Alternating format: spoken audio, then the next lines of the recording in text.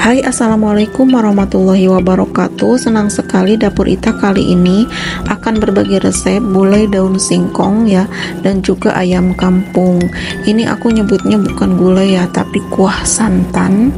Jadi gulai tapi tidak memakai kunyit ya. Bagaimana cara masaknya ini? Ini enak banget. Uh, dagingnya empuk daun singkongnya juga empuk. Ayo kita masak sendiri lebih enak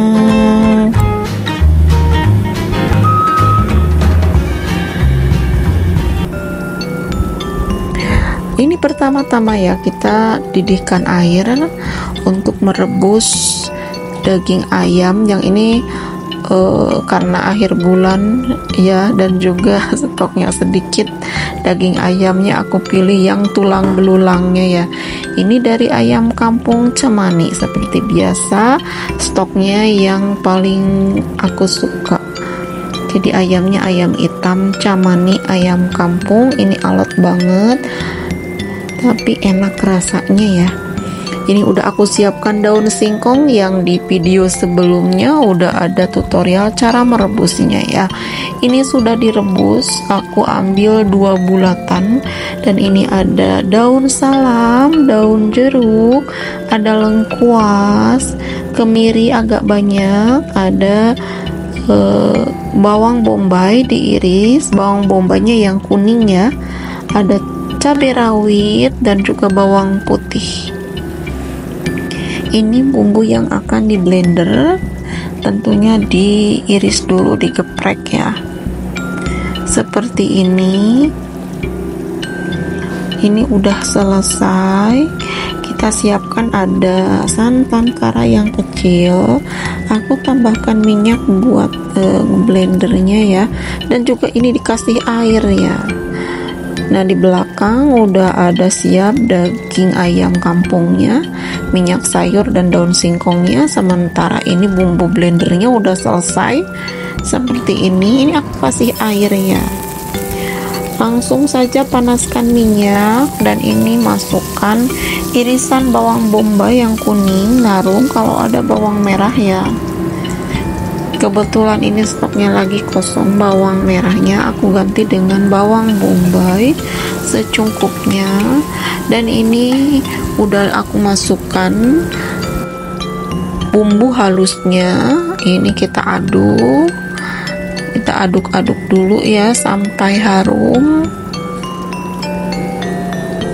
Seperti ini jadi ini aku mau bikin gulai tanpa kunyit.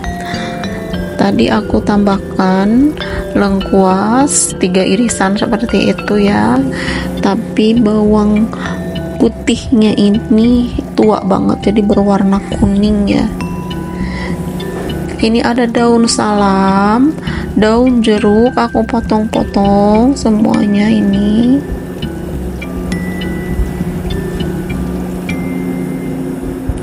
ada serai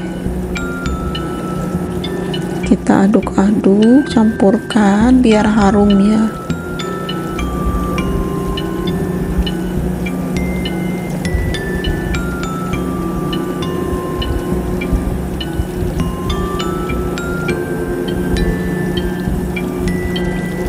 ini aku tadi tambahkan cabai rawitnya cuma tiga ya sesuai selera saja. Ini cabenya ini banget ya pedes banget.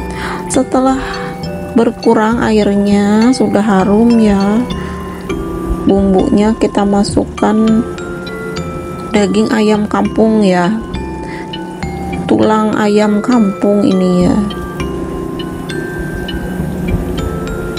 Kita aduk di sini pelan-pelan api kompornya ya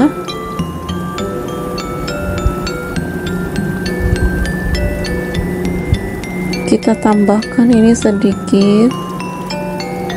Ini dua sendok juga sendok kecil ya tidak banyak. Biar dagingnya ada rasa-rasanya di sini nanti ditambah lagi. Dan ini aku tambahkan air. Biar kuahnya banyak ya kita aduk seperti ini. Nah ini dia nah ini untuk rebusan yang pertama selama 5 menit ya. Aku pakai metode ini ya 537 ya. 5 menit pertama didihkan ditutup sebentar sampai dingin. Terus direbus lagi 30 menit dengan api kompor kecil. Didihkan. Lanjut. Nanti 7 menit ya. Seperti itu sampai kita coba empuk. Kalau untuk ayam kampung cemani ini emang tidak empuk banget. Kayak ayam sayur ya beda. Tetapi enak banget kenyal-kenyal. Jadi tidak mengelupas sampai lembek ya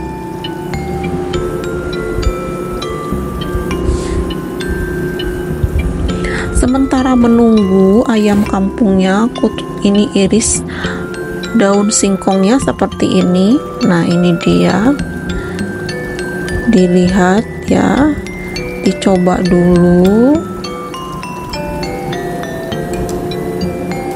Ini tadi aku coba tidak terlalu lembek ya. Ini bukan ayam sayur ya ini ayam kampung cemani dagingnya udah agak empuk. Ini aku tambahkan daun singkongnya. Masukkan ya dimasukkan ke sini daun singkongnya. Terakhir ya karena daun singkongnya udah empuk. Nah ini kita tambahkan lagi. Tadi kurang garam ya udah aku cobain. Tambahkan juga gula pasir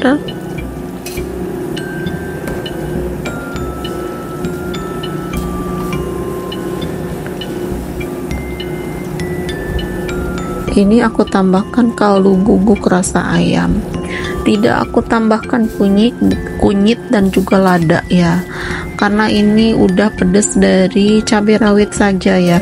Kalau misalnya kakak-kakak bunda-bunda di rumah suka tambahkan lagi ya. Ini sebentar saja ditutup ya biar mendidih dulu itunya bumbunya. Dan terakhir ini kecilkan kom api kompornya. Kita masukkan santan karaknya satu bungkus kecil ya. Sedikit saja kita aduk. Kita aduk perlahan-lahan ya. Ini kuningnya itu dari uh, bawang mer bawang putih sama cabai rawitnya ya ini udah mendidih ya dicoba dulu udah mateng.